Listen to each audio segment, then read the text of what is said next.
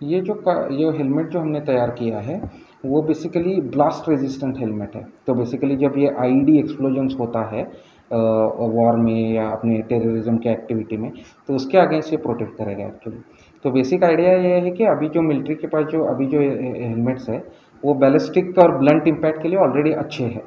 पर उसमें blast protection की थोड़ी कमियाँ हैं। मीन ब्लास्ट प्रोटेक्शन के लिए वो डिज़ाइन नहीं किए गए।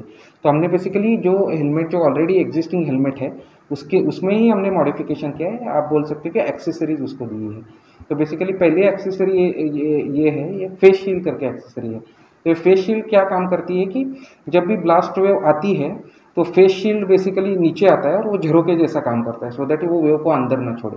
सपोज़ वो ब्लास्ट वेव सपोज़ अंदर आ गई तो वो क्या होता है हेड और हेलमेट के बीच में जो गैप रहता है, उसमें जाके वो फोकस हो जाता है और बेसिकली वहाँ पे प्रेशर दबाव बढ़ जाता है हवा का और उसके वजह से इंजुरी होने के चांसेस रहते हैं।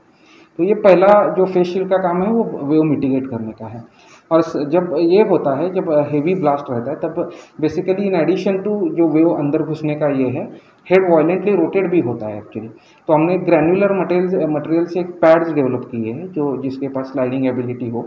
तो बेसिकली वो पैड जो है, वो क्या करते हैं कि हेड और हेलमेट के बीच में जब भी कोई वायलेंट रोटेशनल फोर्स आता है तो बेसिकली स्लाइड होते हैं. और स्लाइडिंग के वजह से वो एनर्जी डेसिपिएट करते हैं। तो हेड का जो जो सर का जो घुमाव है, वो कम हो जाता है एक्चुअली और उसके वजह से जो हेड का जो घुमाव के वजह से जो इंजुरीज है, वो कम हो जाती है।